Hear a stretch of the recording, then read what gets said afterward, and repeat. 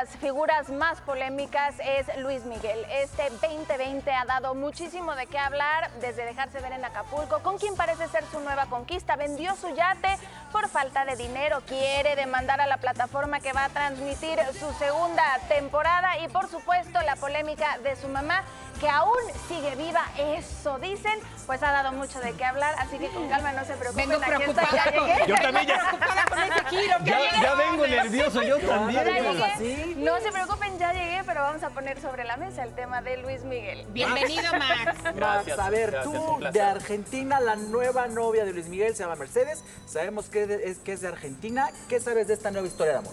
Así es, es argentina, de una ciudad que se llama Misiones, pero hace unos años se fue porque no tuvo éxito. La- esa es la verdad, en Argentina emigró a Miami. Ahí conoció a Luis Miguel. Pero éxito en qué, o sea, ¿qué hace Mercedes? Eh, Mercedes tiene aparentemente una... Luis Miguel que conquista a la mujer que voltea a ver, independientemente de su talento. No, pero él tiene. Tú me platicabas fuera del aire que hay un secreto, sobre todo de cama. Así es. Porque estuvo mucho en Argentina y ha salido con diferentes chicas de Argentina, ¿De qué muchas de las hablamos? ¿De que cuales el tamaño sí importa? del mundo del espectáculo. Mira, hay una chava que estuvo con él que me dio un dato muy preciso. A ver, ¿Con pues Dice- centímetro? cuéntalo. Ay, sí, con centímetro. Con centímetro en mano. Con regla en mano. Con regla en mano, dice que viene muy bien, pero que tiene una característica que la enloqueció a ella y a todas las que han estado con él. ¿Qué es cuál? Dicen que les hace como una especie de sexo tántrico y que tiene un nivel de duración que no es normal. Con la no, pero además te voy a decir No. algo. Algo que dicen que tiene Luis Miguel es sumamente caballeroso. Sí. O sea, te conquista por la forma en la que te habla, por los detalles que tiene, no solamente materiales, sino la manera. Di- Dicen también que tiene un lado... eh, Como cuando a Ninel le dijo, ya gracias, ya Ah. Sí, ¿Ya ya terminaste? Exacto, o sea, también tiene ese lado, pero para conquistar, dicen que pocos como O sea, es un Miguel. Christian Grey real. Podríamos decirlo así. Ese es otro nombre.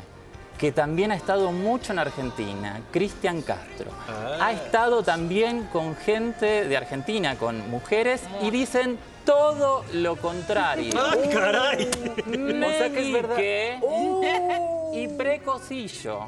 Órale. Precoz, precoz, rapidito, rapidito parece que es la cosa. Así que tenemos como el día y la noche, hay una rivalidad hasta en ese Hasta aspecto. Y es en verdad. el tema de la mamá, La mamá de Luis sí es esta Honorina Montes, esta persona en situación de calle No, que aseguran las primas que es Marcela Basteri. No, miren, yo estoy en contacto con la familia de Honorina Montes, eh, que son de un pueblo de, de Vimenes. Es una persona que tenía problemas eh, psiquiátricos, pero que podía rehacer su vida, hasta que un día aparentemente se metió en una secta y desapareció de España. La madre la buscó durante años, hasta que ustedes saben que después de determinado plazo la justicia declara a la persona desaparecida muerta.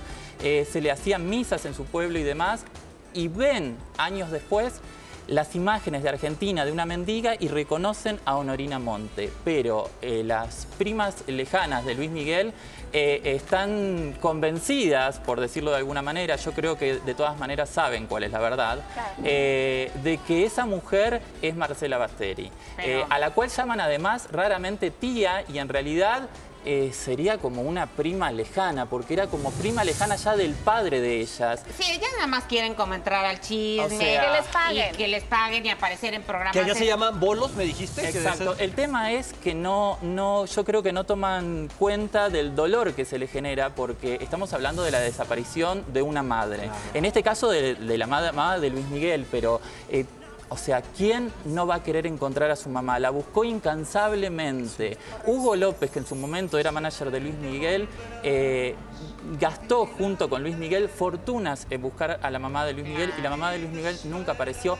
La mamá de Luis Miguel, De hecho- lamentablemente, Acuérdate que en la serie cierra cuando le entregan el sobre de El toda esa investigación y que seguramente en esta segunda temporada veremos qué es lo que trae ese sobre, Y ¿no? El yo resultado. sigo diciendo que nosotros creemos que él no sabe dónde está, pero claro que sabe. Con el dinero y el poder y los conectes que logró Luis Miguel, yo estoy segura que él sabe qué fue lo que ¿Qué pasó. que por eso puso y retrató a su padre en esta serie como lo hizo, porque ese rencor le, le- le- le ha durado siempre. Sí, sabe lo que sucedió, sabe lo que sucedió. Y yo no sé si ustedes saben que la mamá de Luis Miguel eh, es italiana, con una vida muy triste porque quedó huérfana. El papá emigró a Argentina para buscar nuevos horizontes. Y ella, años después, solita, casi preadolescente, viaja en un barco hasta Argentina una vez que el padre se había estabilizado. Fue una mujer que estuvo asignada desde su nacimiento por la desgracia y el dolor. Y cómo termina la historia, ¿no? Encontrando un amor que la hace sufrir y que la hace desaparecer. Esa es la realidad.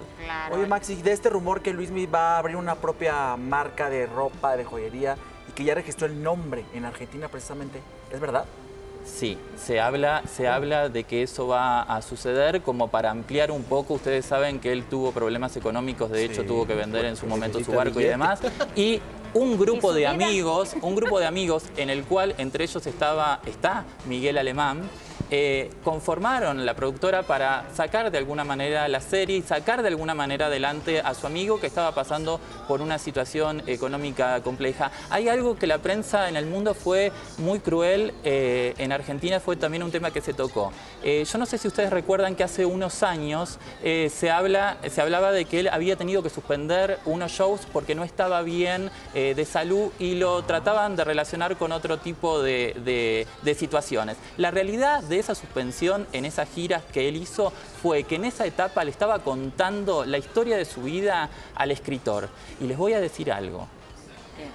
Luis Miguel cuenta que el papá lo drogaba, salió en la serie, pero que no era efedrina, que era otra sustancia.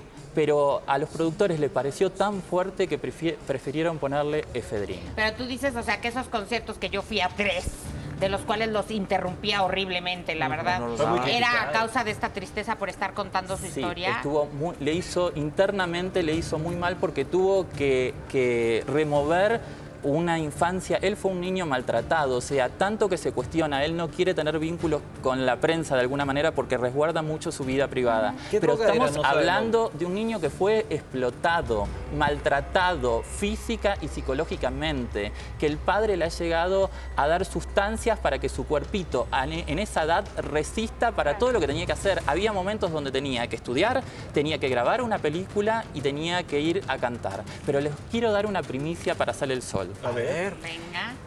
Piki le contó a una amiga argentina que está en Miami que tiene muchas ganas de ser madre y que ese padre sea Luis Miguel. Ay, pero si no Pues les no se hace lo caso. recomendamos. No, no les hace. No, No lo sé. recomendamos. O sea, ella podrá tener muchas ganas, pero yo siempre he dicho que le pregunten a la ex.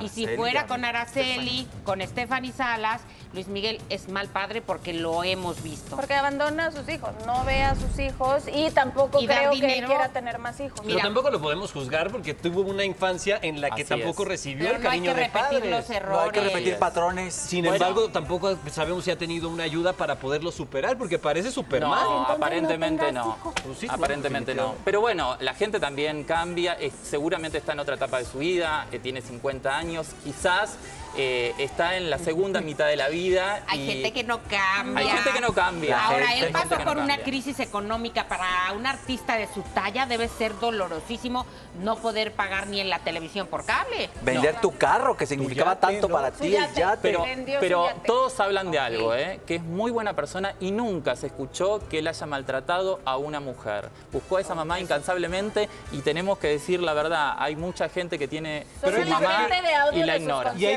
diferentes- Porque esa imagen donde le da el microfonazo también dio la vuelta. Y hay diferentes mundo. tipos de maltratos, porque el hecho de ese mito que existe de que a sus parejas las hace firmar un contrato para que no hablen precisamente de su vida, esto también es un tipo de maltrato psicológico, ¿no? Es mito, ¿dónde están esos contratos? No, no hay pruebas hasta Ay, el momento, pero, Pero nadie habla. pero ninguna mujer habla la realidad de una vida junto a Luis Miguel. Yo te puedo asegurar que tiempo después de vivir situaciones así, la gente habla. Yo tengo la prueba fiel de otras personas que han pasado por situaciones de violencia, de maltrato psicológico y físico y años después hablaron. Estamos diciendo que lo que falta es las víctimas, para yo quiero dejar un mensaje con esto. Las, tenemos que ir. las víctimas, para, para cerrar, si me lo permiten, Sí. las víctimas no hablan cuando quieren, hablan cuando, pueden.